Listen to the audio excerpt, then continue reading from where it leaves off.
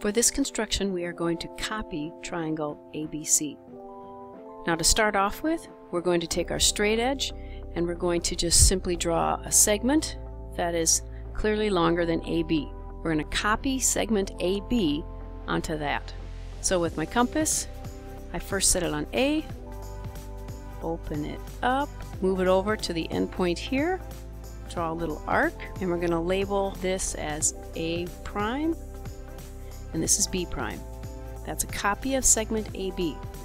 Now I'm going to take my compass, put it back on point A, and I'm going to measure the distance AC and lock in my compass. I'm going to move the compass over to A prime, and I know that this the length of AC is locked into my compass, which means that side of the triangle has got to end somewhere along that arc.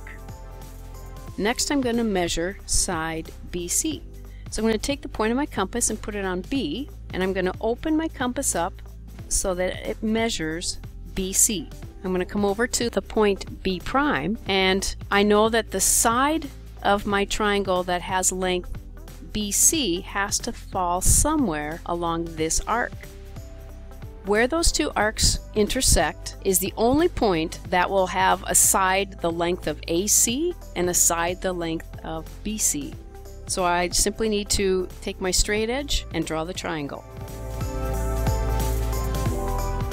We're going to label this point as C prime, and I have copied the triangle ABC.